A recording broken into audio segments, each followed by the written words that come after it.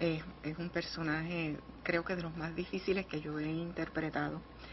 Es una señora mayor eh, que, que pertenece a una familia disfuncional, tiene tres hijas, y, y la relación de ella con el marido y, con las hijas es disfuncional.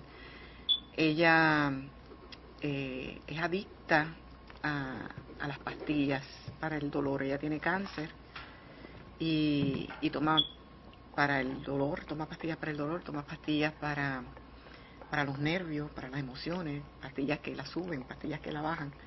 Así que es una adicta.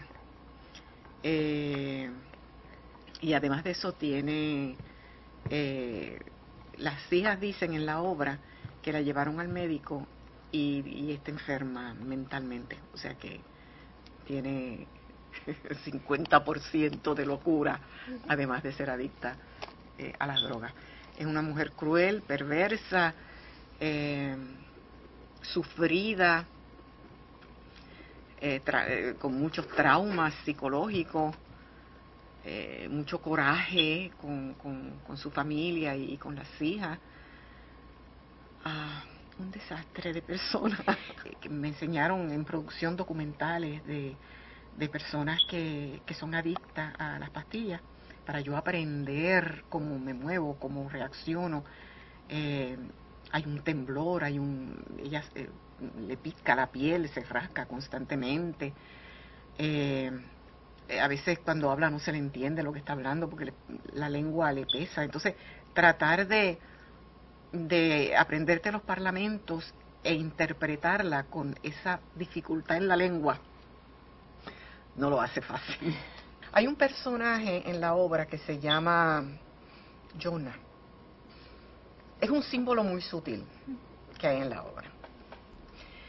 Y no lo entendía, pero creo que es un mensaje subliminal que le puso el autor, porque tampoco se explica, que ella significa la inocencia, la libertad, como te digo, la pureza.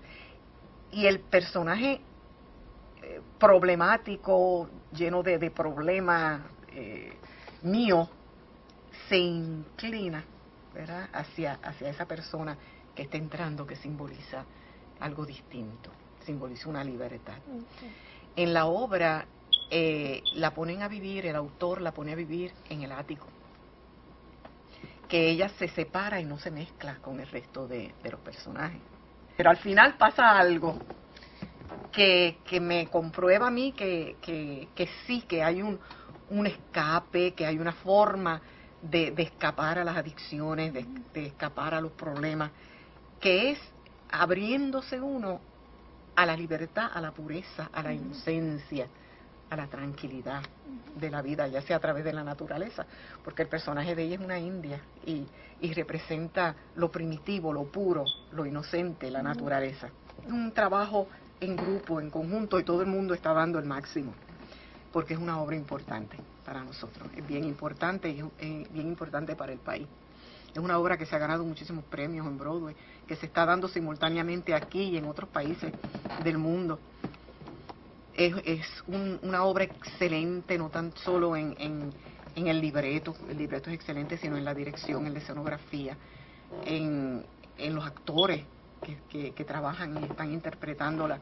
O sea que es un trabajo excelente que merece la pena eh, verlo.